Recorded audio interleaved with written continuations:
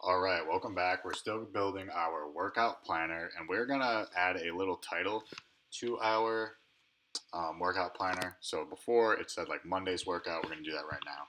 So actually I made a mistake. We're gonna erase this div element, and we're just gonna keep a regular div, and then we're gonna have an H1 that says Monday's workout. See how this looks. Boom, boom. We're going to do style. Oops. Jeez.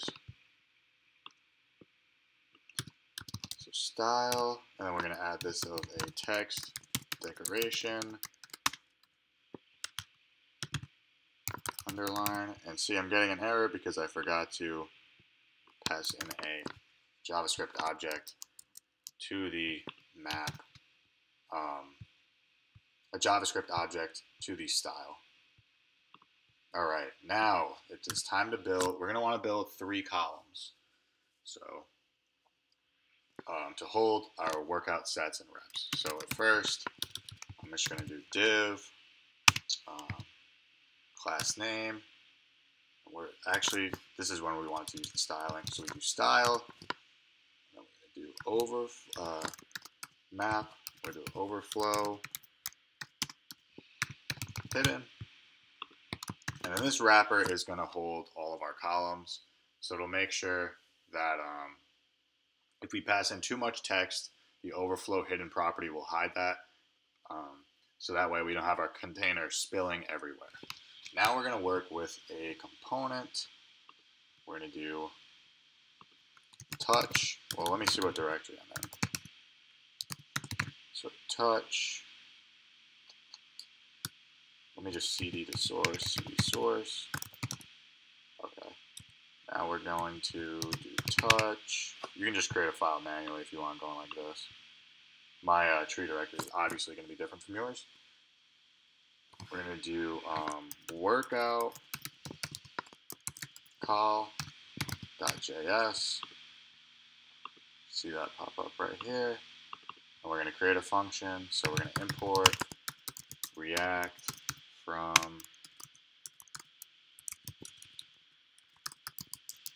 React. Did I do that wrong? Oh, it's like that. So import React capitalized from React folder. Sorry about that. And then we will do function workout call return, boom. And for now, we're just going to use uh, static data. So we're going to do a div. And this is actually going to have a class name of workout dash call. And I am going to just do an H3 H3 tag, and that is just going to be lift. So right now, we're going to do this. Call our workout call.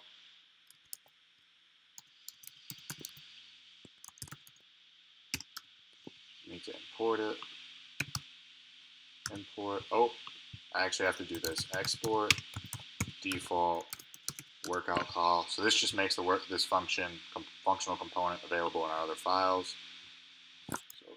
Then we have to import workout call from the folder it's in. We'll do that three times. Boom. Oops.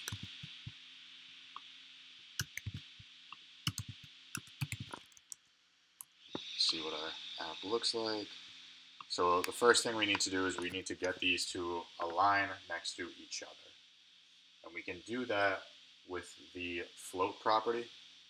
So I come over to my styling and the class name was dot workout. Do I have a hyphen in there? I did. Workout dash call. Um, so float left. So the float left property just gets the um, elements to line up next to each other. So we'll take a look at what that looks now. Boom, boom, boom. So this is obviously not that great. We need to add some spacing in here. Let me take care of that for you. Let me do margin, 0, 1.5%. Now when the margin is a percent, it's talking about the, it takes the width of its parent element, and that's how it calculates the percent. And we're actually going to give each of these a width of 30%. And do overflow wrap. I hit the wrong key. So overflow dash wrap.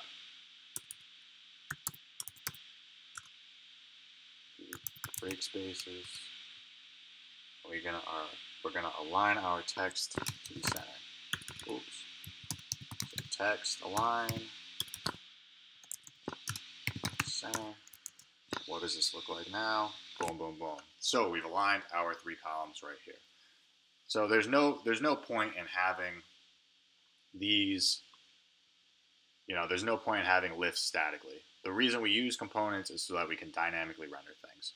So what we're going to do is we're going to have our um, workout call component accept some props. we do that like that.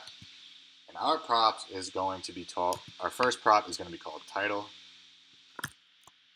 So we'll do props dot title.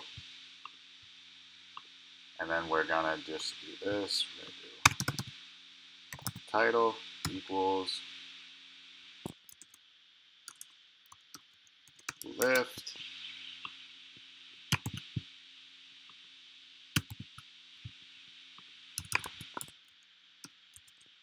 Sets. And then our reps so we've got a functional component. It is now dynamic with props. You see it looks much better now. Um, and I don't know what I'm at for time. So in the next video, we are going to learn how to map data to components, and we're going to deconstruct. In the video after that, we're going to use the deconstruct and spread operator on our components. So thank you for watching. Be sure to subscribe to the Corey's Corner podcast and this YouTube channel. I'll see you next time.